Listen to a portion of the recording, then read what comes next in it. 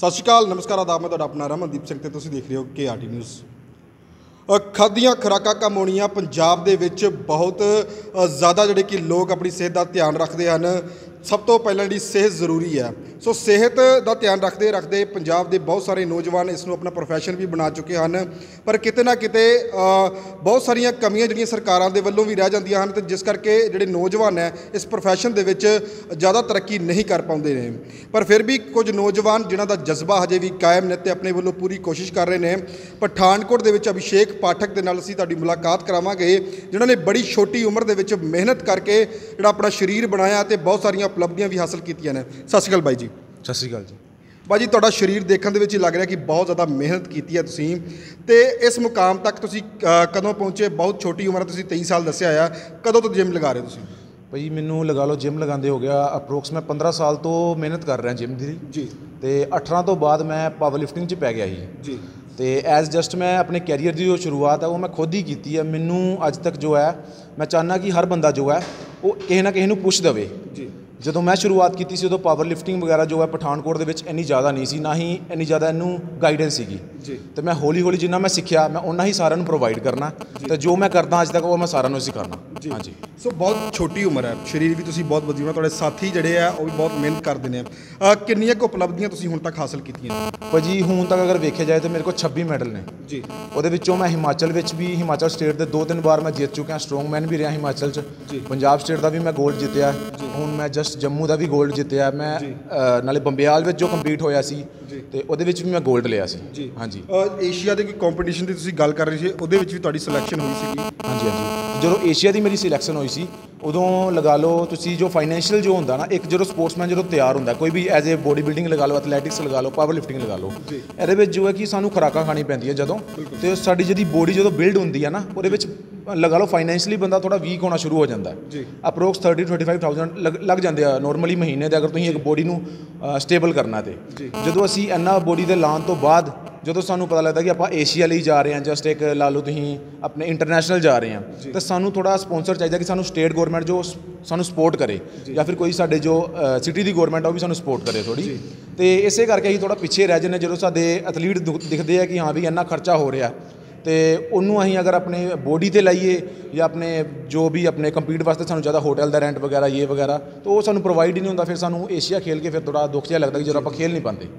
ਸੋ ਬਹੁਤ ਵੱਡੀ ਜਿਹੜੀ ਤਰਾਸਦੀ ਹੈ ਸਾਡੇ ਨੌਜਵਾਨਾਂ ਲਈ, ਜਿੱਥੇ ਕਿ ਸਰਕਾਰ ਦੇ ਵੱਲੋਂ ਉਹਨਾਂ ਨੂੰ ਹੈਲਪ ਨਹੀਂ ਮਿਲ ਪਾਉਂਦੀ ਫਾਈਨੈਂਸ਼ੀਅਲੀ ਤੌਰ ਤੇ ਇਹ ਨੌਜਵਾਨ ਹਜੇ ਤੱਕ ਇੰਨੇ ਮਜ਼ਬੂਤ ਨਹੀਂ ਹਨ, ਪਰ ਫਿਰ ਵੀ ਇਹਨਾਂ ਦੇ ਵਿੱਚ ਜਜ਼ਬਾ ਬਹੁਤ ਜ਼ਿਆਦਾ ਹੈ, ਹਜੇ ਤੱਕ ਵੀ ਮਿਹਨਤ ਇਹਨਾਂ ਦੀ ਜਾਰੀ ਆ ਜੇਕਰ ਇਹਨਾਂ ਨੂੰ ਸਪੋਰਟ ਮਿਲਦਾ ਤਾਂ ਇਹ ਨੌਜਵਾਨ ਦੇਸ਼ ਦੇ ਵਿੱਚ ਸਾਡੇ ਪੂਰੇ ਦੁਨੀਆ ਦੇ ਵਿੱਚ ਆਪਣੇ ਦੇਸ਼ ਦਾ ਨਾਮ, ਆਪਣੇ ਸ਼ਹਿਰ ਦਾ ਨਾਮ ਰੋਸ਼ਨ ਕਰ ਸਕਦੇ ਹਨ। ਉੱਥੇ ਬਾਈ ਜੀ ਦੂਜੇ ਪਾਸੇ ਗੱਲ ਕਰੀਏ, ਖਰਚਿਆਂ ਦੀ ਗੱਲ ਵੀ ਕੀਤੀ ਹੈ ਤੁਸੀਂ ਕਿ ਖਰਚੇ ਤੇ ਹੁੰਦੇ ਨੇ ਬਾਡੀ ਬਣਾਉਣ ਦੇ ਵਿੱਚ। ਬਹੁਤ ਸਾਰੀਆਂ ਗੱਲਾਂ ਵੀ ਸਾਹਮਣੇ ਆਉਂਦੀਆਂ ਕਿ ਡਰੱਗਸ ਵੀ ਲੈਂਦੇ ਨੇ ਨੌਜਵਾਨ ਤੇ ਡਰੱਗਸ ਦੇ ਕਾਰਨ ਕਈ ਨੌਜਵਾਨਾਂ ਨੂੰ ਜਿਹੜਾ ਕਿ ਬਹੁਤ ਸਾਰੀਆਂ ਬਿਮਾਰੀਆਂ ਦੇ ਨਾਲ ਵੀ ਜੂਝਣਾ ਪੈਂਦਾ ਤੇ ਕਈ ਵਾਰ ਨੌਜਵਾਨਾਂ ਦੀ ਮੌਤ ਵੀ ਹੋ ਜਾਂਦੀ ਹੈ। ਕਿੰਨੀ ਕੁ ਸੱਚਾਈ ਹੈ ਇਸ ਗੱਲ ਦੇ ਵਿੱਚ? ਭਈ, ਇਹ ਗੱਲ ਦੇ ਵਿੱਚ ਲਗਾ ਲਓ, ਇੱਕ ਟਰਾਂਸਪੇਰੈਂਟ ਜੋ ਹੈਗਾ ਡਰੱਗ ਦੇ ਉੱਪਰ ਡਰੱਗ ਭਈ ਮੌਤ ਉਹਨਾਂ ਦੀ ਹੁੰਦੀ ਹੈ ਜਿਨ੍ਹਾਂ ਨੂੰ ਪਤਾ ਨਹੀਂ ਹੈਗਾ ਡਰੱਗ ਦੇ ਬਾਰੇ। ਠੀਕ ਹੈ ਇੱਕ ਤੇ ਪਹਿਲੀ ਗੱਲ ਤੇ ਸਾਡੀ ਗੇਮ ਹੈ ਜੋ ਸਾਫ਼ ਸੁਥਰੀ ਗੇਮਾਂ ਹੁੰਦੀਆਂ ਇਹ ਸਾਰੀਆਂ। ਅਗਰ ਤੁਸੀਂ ਟਰਾਂਸਪੇਰੈਂਟ ਪੇਰੈਂਟ ਲੈ ਕੇ ਜਾਓ ਇਹਨਾਂ ਨੂੰ ਤੇ ਅਗਰ ਜੋ ਗਾਈਡੈਂਸ ਤੁਸੀਂ ਅਗਰ ਪ੍ਰੋਪਰ ਗਾਈਡੈਂਸ ਨਾਲ ਚੱਲੋਗੇ ਐਜ਼ ਅ ਕੋਚ ਹਾਇਰ ਕਰੋਗੇ ਸਭ ਕੁਝ ਕਰੋਗੇ ਫਿਰ ਜੋ ਹੈ ਸਾਡੀ ਜੋ ਜੋ ਹੈ ਕਿ ਜਿੱਦਾਂ ਮੌਤਾਂ ਹੋ ਰਹੀਆਂ ਨੇ। ਅਗਰ ਤੁਸੀਂ ਕਿਸੇ ਕੋਚ ਨੂੰ ਹਾਇਰ ਕਰ ਰਹੇ ਹੋ ਉਹਨਾਂ ਨੂੰ ਐਕਸਪੀਰੀਅੰਸ ਹੈਗਾ। ਕਿ ਇਹ ਚੀਜ਼ ਨੂੰ ਕਿੱਦਾਂ ਯੂਜ਼ ਕਰਨਾ ਜਾਂ ਤੁਸੀਂ ਜਦੋਂ ਵੀ ਲਿਫਟਿੰਗ ਕਰਨੀ ਹੈ ਐਜ਼ ਅ ਬੋਡੀ ਬਿਲਡਿੰਗ ਕਰਨੀ ਹੈ ਅਗਰ ਤੁਸੀਂ ਬਿਨਾਂ ਕੋਚ ਤੋਂ ਜਾਂ YouTube ਵੇਖ ਕੇ ਕੁਝ ਵੀ ਹਾਇਰ ਕਰ ਲਓਗੇ ਕਿਸੇ ਵੀ ਚੀਜ਼ ਦਾ ਜਸਟ ਐਜ਼ ਅ ਕੁਝ ਵੀ ਚਲਾ ਰਹੇ ਹੋ ਤੁਸੀਂ ਤਾਂ ਤੁਸੀਂ ਐਜ਼ ਅ ਸਪਲੀਮੈਂਟੇਸ਼ਨ ਕੁਝ ਵੀ ਖਾ ਰਹੇ ਅਗਰ ਤੁਸੀਂ ਓਵਰਲੋਡ ਪ੍ਰੋਟੀਨ ਡਾਈਟ ਵੀ ਓਵਰਲੋਡ ਕਰੋਗੇ ਜਾਂ ਫੈਟ ਜ਼ਿਆਦਾ ਇਨਟੇਕ ਕਰੋਗੇ ਉਹਦੇ ਨਾਲ ਹਾਰਟ ਦੀ ਪ੍ਰੋਬਲਮ ਆ ਜਾਏਗੀ ਤੁਹਾਨੂੰ ਔਰ ਕੁਝ ਵੀ ਤੁਸੀਂ ਬਿਨਾਂ ਆਪਣੀ ਮਰਜ਼ੀ ਤੋਂ ਕਰ ਰਹੇ ਹੋ ਅਗਰ ਤੇ ਉਹਦੇ ਨਾਲ ਤੁਹਾਨੂੰ ਹਾਨੀ ਕੁਝ ਵੀ ਹੋ ਸਕਦਾ ਚਾਹੇ ਉਹ ਡਰੱਗ ਹੈ ਚਾਹੇ ਉਹ ਐਜ਼ ਅ ਡਾਈਟ ਹੈ ਐਜ਼ ਅ ਸਪਲੀਮੈਂਟ ਹੈ ਕੁਝ ਵੀ ਹੋ ਸਕਦਾ ਉਹਦੇ ਨਾਲ। ਹਾਂਜੀ। ਸੋ ਤੁਸੀਂ ਗੇਮ ਦੀ ਗੱਲ ਕੀਤੀ ਹੈ ਕਿ ਇਹ ਜਿਹੜੀ ਬਾਡੀ ਬਿਲਡਿੰਗ ਦੀ ਗੇਮ ਹੁੰਦੀ ਹੈ ਤੇ ਕੰਪੀਟੀਸ਼ਨ ਵੀ ਤੁਸੀਂ ਬਹੁਤ ਸਾਰੇ ਲੜੇ ਨੇ ਤੇ ਜਿੱਤੇ ਵੀ ਨੇ 골ਡ ਮੈਡਲ ਵੀ। ਪਰ ਸਾਡੇ ਸਮਾਜ ਦੇ ਵਿੱਚ ਇੰਨੀ ਅਵੇਅਰਨੈਸ ਨਹੀਂ ਹੈ ਕਿ ਕਿਹੜੀ ਕਿਸ ਤਰੀਕੇ ਦੀ ਜਿਹੜੀ ਗੇਮ ਹੁੰਦੀ ਆ ਬਾਡੀ ਬਿਲਡਿੰਗ ਦੇ ਵਿੱਚ। ਭਈ ਬੋਡੀ ਬਿਲਡਿੰਗ ਤੇ ਪਾਵਰ ਲਿਫਟਿੰਗ 'ਚ ਥੋੜਾ ਥੋੜਾ ਫ਼ਰਕ ਹੈ ਇੱਕ ਜ਼ਮੀਨ ਅਸਮਾਨ ਦਾ ਫ਼ਰਕ ਵੀ ਹੈਗਾ ਤੇ ਥੋੜਾ ਵੀ ਹੈਗਾ।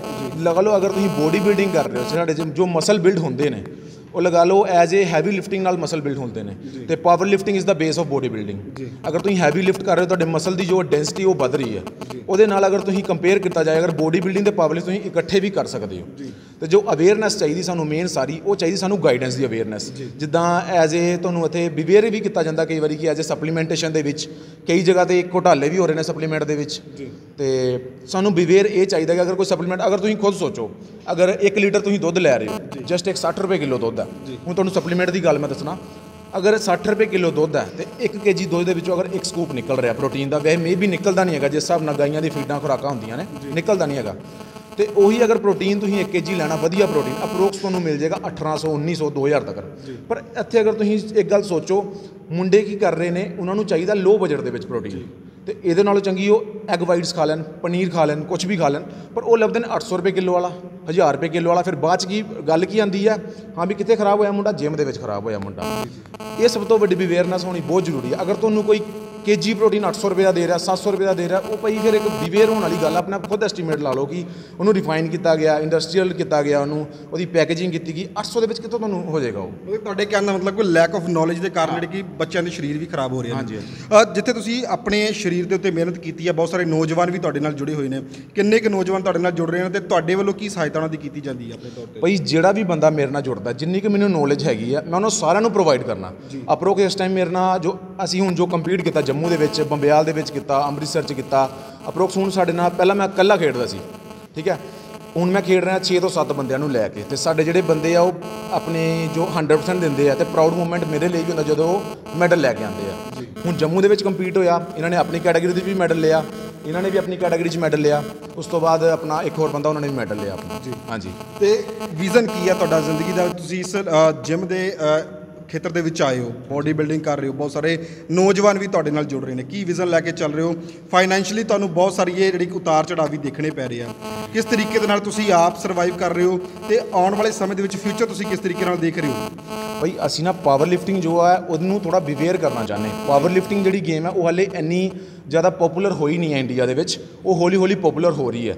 ਤੇ ਅਸੀਂ ਚਾਹੁੰਦੇ ਕਿ ਸ- ਜਦੋਂ ਪਪੂਲਰ ਗੇਮ ਹੋ ਰਹੀ ਹੈ ਸਾਡਾ ਵੀ ਉਹਦੇ ਵਿੱਚ ਸਪੋਰਟ ਹੋਏ ਜ਼ਿਆਦਾ। ਵੱਧ ਤੋਂ ਵੱਧ ਅਸੀਂ ਲੋਕਾਂ ਨੂੰ ਬਿਵੇਅਰ ਕਰੀਏ ਕਿ ਤੁਸੀਂ ਪਾਵਰ ਲਿਫਟਿੰਗ ਵਿੱਚ ਵੀ ਆਓ। ਬੋਡੀ ਬਿਲਡਿੰਗ ਵੀ ਕਰੋ। ਪਾਪਾ ਬੋਡੀ ਬਿਲਡਿੰਗ ਜੋ ਹੈ ਹੁਣ ਬਿਵੇਅਰ ਜ਼ਿਆਦਾ ਹੋ ਚੁੱਕੀ ਹੈ।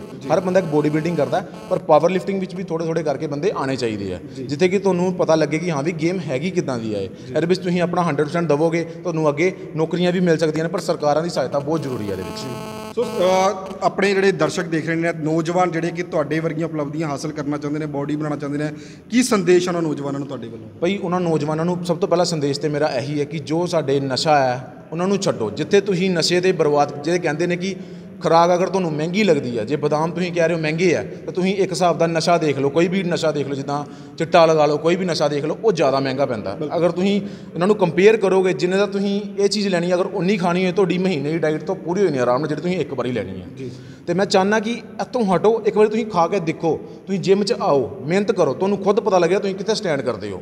ਆਪਣੇ ਆਪ ਤੋਂ ਤੁਹਾਨੂੰ ਪਤਾ ਲੱਗਿਆ ਤੁਸੀਂ ਕਿੱਥੇ ਤੱਕ ਸਟੈਂਡ ਕਰ ਸਕਦੇ ਕਿੱਥੇ ਜਾ ਸਕਦੇ ਹੋ ਤੁਸੀਂ। ਮੈਂ ਇਹ ਚਾਹੁੰਦਾ ਕਿ ਨਸ਼ਿਆਂ ਨੂੰ ਛੱਡ ਕੇ ਤੁਸੀਂ ਜਿਮ 'ਚ ਆਓ ਤੇ ਤੁਹਾਨੂੰ ਕੋਈ ਦਿੱਕਤ ਆਂਦੀ ਆ ਸਾਨੂੰ ਕਦੀ ਵੀ ਬੋਲ ਸਕਦੇ ਹੋ ਤੁਸੀਂ ਕਿਸੇ ਵੀ ਜਿਮ ਦੇ ਟ੍ਰੇਨਰ ਨੂੰ ਆਪਣੇ ਨੂੰ ਕਹਿ ਸਕਦੇ ਹੋ ਉਹ ਤੁਹਾਡੀ ਵੱਧ ਤੋਂ ਵੱਧ ਸਹਾਇਤਾ ਕਰਨਗੇ। ਹਾਂਜੀ। ਅ, ਸੋ ਬਾਈ ਜੀ ਮੈਂ ਦੇਖ ਰਿਹਾ ਤੁਹਾਡੇ ਸਰੀਰ ਵੀ ਬਹੁਤ ਵਧੀਆ ਤੁਸੀਂ ਮਿਹਨਤ ਕਰ ਰਹੇ ਕਿੰਨੇ ਕਿੰਨੇ ਇੰਚ ਦੇ ਤੁਸੀਂ ਡੋਲੇ ਬਣਾ ਲਏ? ਪਹਿਲਾਂ ਮੈਨੂੰ ਦੱਸੋ ਤੁਸੀਂ। ਭਾਜੀ ਡੋਲਿਆਂ ਦਾ ਵੇਖੋ ਤੁਸੀਂ ਅਸੀਂ ਮੈਜ਼ਰਮੈਂਟ ਤੇ ਨਹੀਂ ਕਰਦੇ ਨਹੀਂ ਪਰ ਲਗਾ ਲਓ ਹੋ ਸਕਦੇ। ਦਿਖਾ ਦਿਓ ਤੁਹਾਡੇ ਦਰਸ਼ਕਾਂ ਨੂੰ ਤੁਸੀਂ ਨਾ ਆਪਣੇ ਡੋਲੇ ਜਿਹੜਾ ਤੁਸੀਂ ਉਹ ਕਰਦੇ ਹੋ ਪੋਜੀਸ਼ਨਿੰਗ ਜੀ ਕਰਕੇ ਵਿਖਾ ਦਿਓ। ਆਜੋ ਭਾਜੀ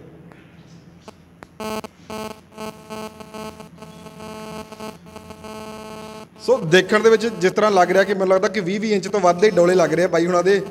ਸੋ ਮਿਹਨਤ ਜਿਹੜੀ ਕਿ ਬਹੁਤ ਜ਼ਿਆਦਾ ਨੌਜਵਾਨਾਂ ਦੇ ਵੱਲੋਂ ਕੀਤੀ ਜਾ ਰਹੀ ਹੈ ਪਰ ਕਿਤੇ ਨਾ ਕਿਤੇ ਜਿਹੜਾ ਕਿ ਸਰਕਾਰਾਂ ਦਾ ਸਹਿਯੋਗ ਇਹਨਾਂ ਨੌਜਵਾਨਾਂ ਨੂੰ ਨਹੀਂ ਮਿਲ ਰਿਹਾ।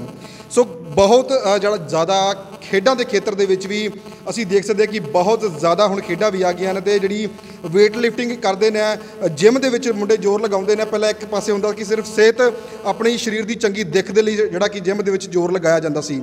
ਪਰ ਹੁਣ ਇਹਨੂੰ ਨੌਜਵਾਨ ਆਪਣਾ ਪ੍ਰੋਫੈਸ਼ਨ ਬਣਾ ਰਹੇ ਨੇ। ਪਠਾਨਕੋਟ ਦੇ ਨੌਜਵਾਨ ਜਿਹੜੇ ਕਿ ਵੱਡੀਆਂ ਉਪਲਬਧੀਆਂ ਹਾਸਲ ਕਰ ਚੁੱਕੇ ਨੇ। ਪੰਜਾਬ ਲੈਵਲ ਦੇ ਮੈਡਲ ਇਹਨਾਂ ਨੌਜਵਾਨਾਂ ਦੇ ਕੋਲ ਹੈ। ਪਰ ਕਿਤੇ ਨਾ ਕਿਤੇ ਜਿਹੜੀ ਕਿ ਸਰਕਾਰੀ ਸਹਾਇਤਾ ਜਾਂ ਫਾਈਨੈਂਸ਼ੀਅਲੀ ਤੌਰ ਤੇ ਵੀਕ ਹੋਣ ਦੇ ਕਾਰਨ ਇਹ ਨੌਜਵਾਨ ਜਿਹੜੇ ਕਿ ਦੇਸ਼ ਦੇ ਬਾਹਰ ਏਸ਼ੀਆ ਦੇ ਕੰਪੀਟੀਸ਼ਨ ਹੁੰਦੇ ਉੱਥੇ ਨਹੀਂ ਜਾ ਸਕੇ। ਸੋ ਇਹਨਾਂ ਨੌਜਵਾਨਾਂ ਨੂੰ ਲੋੜ ਹੈ ਅ, ਜਿਹੜੇ ਐਨਜੀਓਜ਼ ਨੇ ਉਹਨਾਂ ਦੀ ਲੋੜ ਹੈ ਸਰਕਾਰ ਵੱਲੋਂ ਜਿਹੜੀ ਸਹਾਇਤਾ ਦਿੱਤੀਆਂ ਜਾਂਦੀਆਂ ਉਹਨਾਂ ਦੀ ਲੋੜ ਹੈ। ਤਾਂ ਜੇ ਨੌਜਵਾਨ ਜਿੱਥੇ ਆਪ ਨਸ਼ਿਆਂ ਤੋਂ ਦੂਰ ਰਹਿ ਕੇ ਨੇ ਵਧੀਆ ਪ੍ਰੋਫੈਸ਼ਨ ਨੂੰ ਬਾਡੀ ਬਿਲਡਿੰਗ ਨੂੰ ਇੱਕ ਪ੍ਰੋਫੈਸ਼ਨ ਦੇ ਤੌਰ ਤੇ ਦੇਖ ਰਹੇ ਨੇ, ਉੱਥੇ ਜਿਹੜੇ ਕਿ ਬਾਕੀ ਨੌਜਵਾਨ ਆਪਣਾ ਮਨ ਭਟਕਾਉਂਦੇ ਜਾ ਰਹੇ ਨੇ, ਉਹਨਾਂ ਨੂੰ ਵੀ ਇੱਕ ਸੇਧ ਦੇ ਸਕਣ।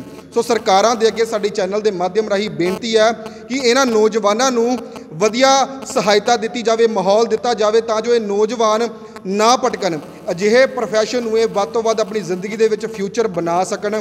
ਤੇ ਆਪਣੇ ਨਾਲ ਦੇ ਨਾਲ ਜਿਹੜੇ ਕਿ ਇਲਾਕੇ ਦੇ ਨੌਜਵਾਨ ਹੈ, ਉਹਨਾਂ ਨੂੰ ਵੀ ਇਸ ਪਾਸੇ ਲਿਆ ਕੇ ਨਸ਼ਿਆਂ ਤੋਂ ਦੂਰ ਕਰਕੇ ਇੱਕ ਵਧੀਆ ਜੀਵਨ ਦੀ ਸੇਧ ਦੇ ਸਕਣ। ਸੋ ਮੇਰੇ ਰਮਨਦੀਪ ਸਿੰਘ ਦੇ ਨਾਲ ਬਣੇ ਰਹੋ ਤੇ ਦੇਖਦੇ ਰਹੋ ਕੇ ਨਿਊਜ਼